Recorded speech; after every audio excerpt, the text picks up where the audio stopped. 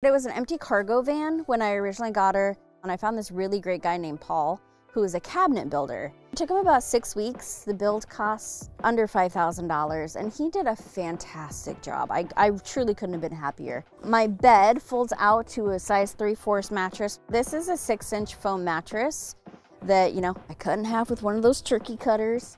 A lot of people get their mattresses moldy because they don't take the proper precautions to get air ventilation. So that is really super important. So this isn't pretty, but I will show you the realisticness to van life.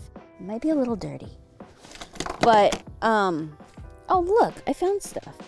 Um, I had to put down this HyperVent and this just puts extra space in between your mattress and the surface. And there's also, we drilled holes down beneath here too. So that way there would be uh, ventilation between my mattress